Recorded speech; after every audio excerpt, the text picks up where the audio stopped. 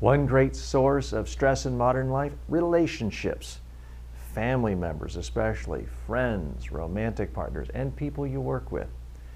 Here's one quick tip to reduce stress stop being a jerk. If you're talking to a human being, don't ignore them and look at your cell phone.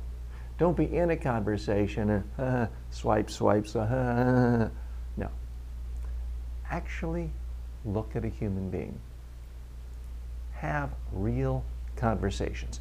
You might even have disagreements. That's okay. At least you're giving someone full attention. So much of what harms our relationships with human beings is we're never really with them.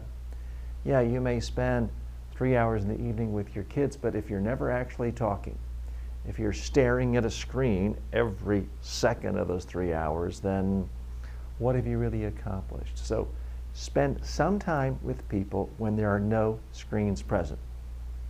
If it's dinner time, I don't mean just put the phone on mute or vibrate. I mean, take it out of your sight, take it out of your line of vision. Put it in another room so you can actually have a conversation. If you're out to dinner, don't put it on the table. It will improve the quality of your conversations. It will improve your ability to listen, and it will improve your relationships.